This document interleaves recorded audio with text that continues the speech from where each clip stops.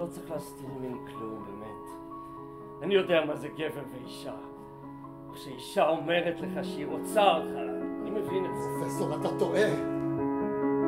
זקוקים לך. אף אחד לא זקוק לי.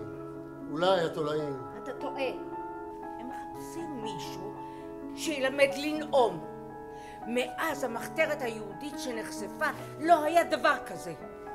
אני לא מתאים לזה.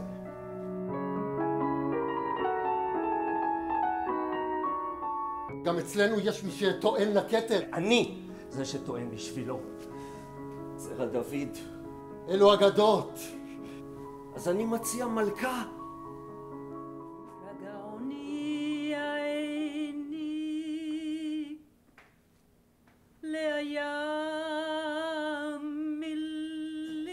אני רוצה להבין. איך נודע לך שאת נצר לבית דוד? אני בטוח שהיא עדיין שונאת את ישראל בדיוק כמו אז. הצבא יכול לשבור לך את הלב.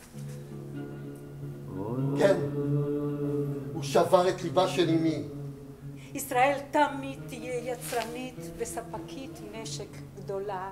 יחסיה עם מדינות העולם יהיו מחושבים ותועלתניים, אנחנו נהיה מוקפים, שונאים, ובין ידידינו יהיו לא מעט שיפגינו כלפינו רגשות מעורבים. אתה רוצה לומר שאנחנו עושים סרט על צאצא של דוד המלך? ינאי אמר שזה סרט על פמיניסטית הרפתקנית. ככה לפחות אני הבנתי את זה. גם וגם. אה, מדהים.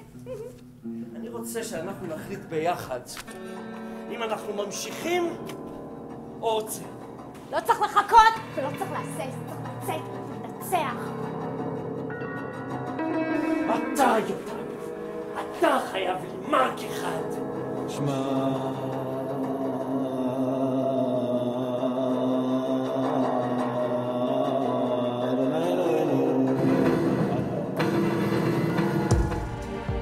יורים, יורים, יורים בעצמנו!